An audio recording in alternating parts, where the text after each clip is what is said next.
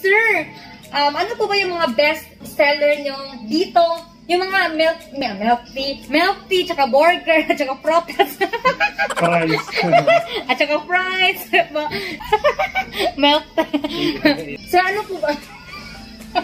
Sir, so ano po ba yung um, pinaka-best seller yung milk tea? milk tea, ayan. Ano yung best seller na milk tea? Actually, marami kami hindi sila dito. Isa yung isa sa mga pinaka-favorite ko. Gina, gina, always ko gina-recommend sa mga... Ito? Oo, mga ito yung recommend mo ko. sa akin ngayon. Yung so, brown sugar. yun, Brown yeah, sugar. brown sugar. Eh, always ko gina-recommend. Brown sugar. Sorry, lahat naman masarap eh. Ayan. Nakadepende lang sa panlasa ng tao. Pero sa akin, yung always kong gina-recommend sa iba is yung brown sugar mismo. Ayan. So, since ito yung nirecommend ni Sir sa atin, for today, titikman natin siya. Let's do this. Hmm. Wala Okay guys, relax lang ha. Hmm.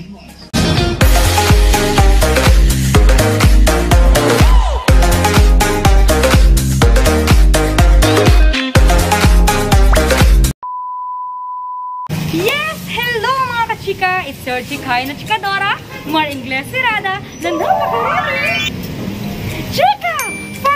Video, ang gagawin natin ay walang iba kundi ang mag-store, store, mag um, visit tayo sa milk tea ng friend ko dito sa Davao City and yes, uh, mag-store raid tayo ngayon. Don't forget to like and subscribe to my YouTube channel and please click the notification bell para notify ka sa lahat ng videos na i-upload ko. If you are interested, just keep on watching. Imuntad na natin!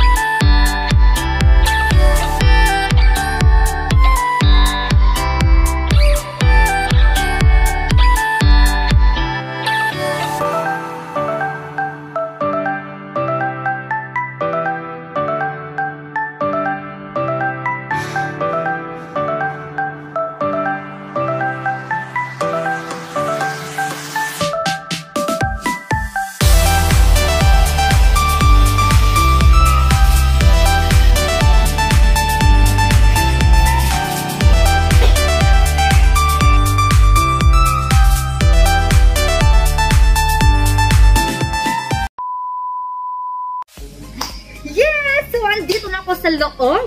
Kasi nga, hindi ako nasa labas. And yes, um, eto na nga. Um, actually, nag-order na pala ako kanina.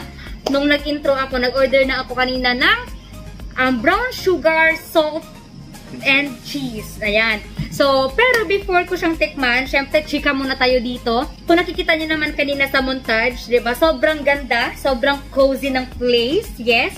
And, sobrang peaceful dito, guys. Actually, kung kaka-broken hearted mo lang, di ba, pwede kang magstay dito.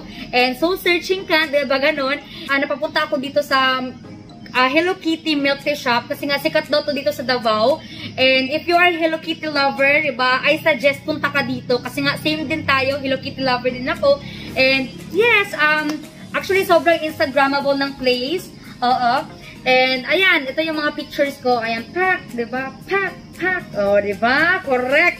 So, ngayon ay, um, actually, inaantay ko na lang yung friend ko. ah, isa sa mga may-ari din ng milk tea um, shop here in Davao. Uh, itong Hello Kitty. Magtatanong ako ng konting katanungan, 'di ba? Yes, syempre. And kung ano, kung ano ba yung bestseller, 'di ba? Kung um, kailan ba sila open, 'di ba? Ganon. Yun lang yung mga itatanong ko sa kanya. And sana um, may information din kayong makuha about this milk tea shop para at least if you want to order, hindi na kayo mahirapan. Ito yung in-order ko kanina.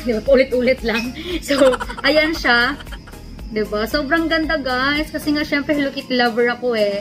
So sobrang laki niya. Actually uh, for only 135 pesos. So you can't go wrong with your 120 135. Sobrang laki niya na. Uh, uh, feeling ko hindi ko to maubos kasi nga hindi naman ako milk tea lover, ba? Kung alam niyo naman 'yon mga chicks.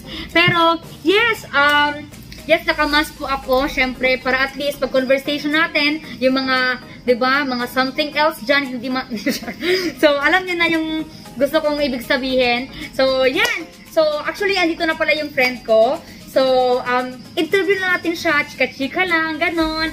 So, yes, habang um, nag, ano ako dito sa milk tea, habang iniinom ko siya, chika-chika, ganon. And yes, ganon lang. And yes, tawagin ko muna siya. Um, excuse me, sir. Ayan. Wait lang. Wait lang guys ha. Puntahan ko muna siya. Bye! Yes! So, andito na po yung guest natin for today. so, ayan. Sobrang, ba? Um, single po siya. And yes, um, ito start na natin yung mga questions. So, pero by the way, kumusta po tayo, sir? Actually, siya po yung isa sa mga may-ari dito sa Milk Tea um, Hello Kitty Milk Tea Shop, ba? Sobrang bata pa po. ba? Actually 12 years old. sir, ano name mo, sir? Jomel. Jomel, ayan. So, Jomel daw, guys, yung name correct. niya. Kamis na kita dali Ayan, kore, kore. Ganyan ko sa camera, wala mo tag. Di ba, kagwapa ba? So, ayan, Sir Jomel. Um, kailan po ba nag-start yung Hello Kitty Milk Tea Shop? Uh, nag-start kami last year by October na. October Ayan. 5? October 7? October 5. October 5. Ayan. So, probably, 3 months pa lang guys. Pero actually, sobrang, diba, sobrang trending na nito dito sa Davao City. Kasi nga, I think ito lang yung Hello Kitty na milk tea shop here. Or may iba pa bang branch. Okay, so, I think wala. Wala bang ibang branch? Okay, so, walang ibang branch ng Hello Kitty milk tea um, shop. So, hindi ka talaga maliligaw if you want to visit here. So, sir, saan po ba yung location? Yung location namin yan is na, dito na sa harap lang ng Bonifacio UIC mismo. Ayan. Harap lang. Harap Oo, lang. so, so guys, um, sa harap lang ng UIC, di ba yung location nila, actually hindi ka hindi ka talaga maliligaw. Pag nakita mo si Hello Kitty, di ba? So, ayun na, yun na yun. Sa kanya ka lang maligaw. Oh. Sa kanya ka lang Oo, sa kanya ka lang naliligaw kasi hindi ka kasi nag, alam mo, wala kasi direction. And yan, um, sir, ano po ba yung mga best seller nyo dito? Yung mga milk, milk tea, milk tea, tsaka burger, tsaka protas. fries. At tsaka fries. sir, so ano po ba yung um, pinaka-best seller yung milk tea? milk tea, ayan. Ano yung best seller na milk tea? Actually, marami kaming bestseller dito. Isa yung isa sa mga pinaka-favorite ko. Gina, gina, always ko gina-recommend sa mga Ito? Oo, ito yung recommend mo sa akin ngayon. Yung so, brown sugar. Brown yeah, sugar. brown sugar. Eh, always ko gina-recommend. Brown sugar. Actually, lahat naman masarap eh. Ayan. Nakadepende lang sa panlasa ng tao. Pero sa akin, yung always kong gina-recommend sa iba is yung brown sugar. Ayan. So, since ito yung nirecommend ni Sir sa atin, for today, titikman natin siya para at least ma-recommend din natin sa iba. ba? Diba? So, ayan. Let's do this. Mm. Wala Okay guys, relax lang ha. Mm. Actually, masarap talaga siya. Hindi ako milk lover ha, for your information. Na-mix na ba to? Hindi ko kasi alam eh. Mm, masarap siya. Gano'n masarap? Kasi sarap ba ng jowa mo?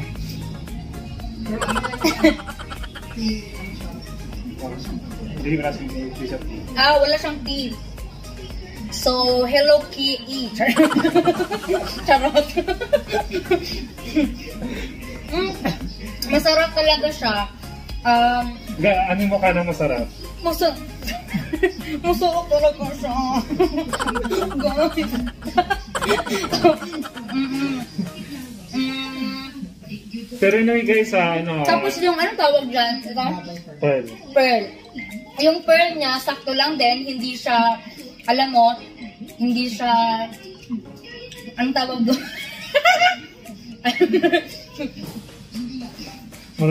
Kayo sa... Gwapo Malambot siya. Malambot siya, hindi yan siya, ay tawag doon, yung parang gahi ba? Hindi siya gahi. hindi siya gahi. Malambot siya. Mm-mm. Mm, malambot siya. And yes, masarap. And ngayon, yung next question ko naman is, Sir, may mga Ibang- ano ba, aside po sa milk tea po, ano po ba yung mga ibang mga ino-offer nyo dito? Ayan. Oo, may mga breakfast meal din kami. So, kaya kami nag-open kami. Nag-open kami dito mga 7.30 in the morning. So, open na kami ngayon Mm, para okay. for breakfast. So, 7.30 pa lang guys, open na yung dito. Ah, until what time po? 7 ng gabi din tayo. Mhm. 7 to 7. 7 to 7. Okay. So, an- ano pong mga day kayo nag-open? Like every day or every, Every day. Every day, oh, di ba? Monday to Sakto. Sunday. Monday to Sunday, guys. So, di ba, ganun po talaga ka, di ba, grabe yung services nila dito. Like, alam mo yon 7 to 7, tapos wala talagang palya yon Like, Monday to Sunday. Oo, di ba? So, and ito, hindi ko siya maubos. Ilalagay ko lang sa bulsa ko. and, oo. And sa mga ano naman dyan, sa mga tamad, di ba? So, sa mga ayaw pumunta sa store mismo kasi nga natatakot, kasi nga may pandemic, di ba? Paano po ba kami makapag-access ng, paano po ba kami mag-order, di ba? Ng um, breakfast meals or yung mga milk teas. So, actually, meron din silang Food Panda. Ayan. So, Hmm. nag-deliver din sila. Sir, ano po ba yung, ano nyo sa Food Panda? Lahat, nasa food panda din kami at saka sa Kuruta mismo. So, kung wala kayong food panda na app, meron din kaming Kuruta na app. Ayan. Kuruta. Kuruta. Yeah. Ayan. So, so hanapin nyo lang yung Hello Kitty. Tama ba? Hello Kitty. You're so pretty. Meow, meow. Hello Kitty. You're so pretty. So, hanapin nyo lang sila sa Food Panda. Hello Kitty. Ah, tama ba? Hello Kitty Milk Tea. Basta yun na. Kasi nga wala namang ibang Hello Kitty Milk Tea shop here in Davao. And, yes. So, sir, um, anong tawag doon? Sa breakfast meals po, ano po yung best seller ninyo? Lahat kasi masarap eh. Lahat ina-order ng mga tao sa lang. Pero, pero sa, seryoso, ma, yung longganisa mismo, longganisa. ayan. Ah. long. Basta long talaga. Ah. yun talaga yung, oo. Pero sobrang Basta- solid, sobrang solid kasi nga may hotdog na siya, may longganisa ka na, may rice ka pa, may... May itlog. May itlog. Ay, correct. Gusto ko, parang gusto ko ata yan. Kahit busog ako, gusto ko yung mag-order ulit ng longganisa. May jack dog. yes, at saka itlog, at saka pahimagas. Diba? So, so mamaya ipapakita ko na lang yung breakfast meals nila para at least makapili din kayo. Oo. And, yes sir, um, Sige pa ako. single pa, single ka pa ba daw? Yun yung sabi ng, single ka pa sir? Yes. Oh. Baka, baka. Single po si Sir. So, ayan, sa mga ano dyan, ah, pa, pa, add na lang si Sir sa Facebook, Jomel Doping. Oo. And Sir, eto po, um, parang crucial question sa ngayon. Um, Sir, Ano ba yan? um, ano ba yung mga maisa-suggest mo sa mga kabataan na gusto ding mag-open ng milk tea shop or I mean, yung mga ibang tao din na they are planning to have their own milk tea shop, ano ba yung mga kailangan nilang gawin or kailangan lang i-prepare, 'di ba? So ganon, mga ganong bagay. Depende. Depende. Kasi sa akin kasi kusang dumating siya eh. Ayan. So hintayin mo kapusang dumating sa'yo. Para, pero nakadepende yan sa tao eh. Oo. Pero dapat, pag once may dumating na opportunity sa'yo, dapat i-grab mo. Alam, Yes. minsan lang dumating yung opportunity. Mag-fail ka man or hindi, at least nasubukan mo kumbaga. Oo. So, yun lang. Kasi yung, yung ito kasi yung uh, itong store kasi at saka itong uh, Hello Kitty mismo, dumating siya sa akin ng di ko hindi ko na-expect mismo. So, parang since na, dumating na siya, tinanggap ko na lang ang pusa. Kaya ito ako ngayon. Ayan, di Diba? ba? Ganun lang. So, ayan, depende din sa inyo kung ano yung business na gusto nyong i-open. Pero I suggest if you have savings, Dapat diba- maging ready ka lang talaga. Oo, yes. Dapat maging ready ka kasi nga sa business, hindi po siya stable. Oo. Hindi siya stable. Ah, may times na malakas, may times na mahina. So, pero tuloy-tuloy mo lang talaga yung business na yan kasi nga, hindi mo alam along the way na you are growing pala, 'di ba? Na sobrang dami na palang naghahanap, sobrang daming buyers na pala yung, 'di ba? Na uy, bakit yung milk tea na ganito ganyan, 'di ba? So tuloy-tuloy mo lang and yes, syempre naman po, we started as small businesses to support local business. So yun siya. So maliit lang talaga sa start until na lalaki yan, 'di ba? Same ng mga businesses ng ibang tao na maliit lang yung mga mga stores nila until na lumalaki, ganun siya. So yun, um, Sir, ano po ba yung may advice mo sa mga tao na may mga savings pero hindi alam kung anong gagawin? Oo. Invest nyo. Ayan, i-invest Mag-invest nyo. kayo. Oo. Marami kasi Diba? pwede mag-invest, mag-invest eh. Pero yun nga, since, since nakat, nakatago, nakatingga lang yan dyan, so mas maganda maghanap kayo ng bagay na pwede nyo pag-investan yun. Correct. Sa akin ano? Sa jowa? Wag Marami eh, wag na, kung healthy man yan o hindi, at least maghanap kayo. Pwede sa lupa, di ba? Mm-mm. Magtanim kayo sa probinsya yung mga ganun. So, maghanap kayo ng baboy, mag ano kayo ng baboy. So, marami pwedeng gawin. As long as may savings ka, marami ka magagawa. Mm-mm. Basta may savings ka, huwag ka masyadong magastos. Oo. So, ito yung, oo. So, ito yung ano natin, yung menu nila. So, lagay ko lang yung picture dito para at least makita niyo yung mga um, mga ino-offer nila dito na milk tea and burger and fries. Charot. So, milk tea lang po and breakfast meals yung ino-offer nila dito. May fries din. Ay, may fries din. Actually, may fries. May protas ba dito? May protas. so, walang protas, guys. And, actually, ayan. Ano to, sir? Ayan. Para sa mga loyal, kung hindi ka naman loyal, wag ka nang kumuha nito, Chares. So, ito po, para sa loyalty card. So, kung mahilig ka ng mag-milk tea dito sa sa Hello Kitty Milk Tea Yes! So, meron tayong mga technical difficulties since technical errors kasi nga, yes, live po tayo. Oo, nalobot po yung cellphone namin. Na, nalobot yung cellphone ko. So, ayan. So, to be continued. And yes, meron po silang loyalty card. Sabi ko nga kanina, para sa mga taong loyal. so, yes. So, ano po ba yung ano dito, sir? Um, parang, pag nagbili sila right now, may free silang loyalty card. Tapos, Next purchase nila, next may purchase, discount may 5% ka na dapat. Dalhin lang yung loyalty. loyalty card. Ayan. Ito yun, first purchase mo, ay first purchase mo, may may automatic, may loyalty card ka na. Then next purchase mo, to may, ano ka, may 5% ka, then 10%, 15%, 20%, 25, 30, at saka 50%. Ay, grabe. So, pataas ang pataas kumbaga. So, di ka lugi kasi kada bili mo may discount ka.